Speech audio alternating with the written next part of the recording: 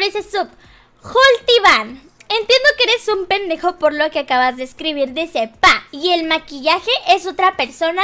Ja, ja, ja, ja, ja, ja. Amigo, ¿tú crees que yo compro máscaras de 700 pesos o bases Fenty de 800 pesos o casi mil para verme pinches igual maquillada y no maquillada, pendejo de mierda? O sea, ¿tú en verdad piensas que las mujeres gastamos dinero en maquillaje para vernos igual?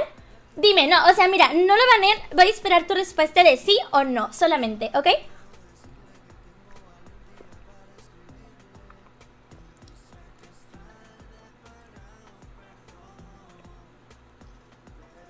Que no lo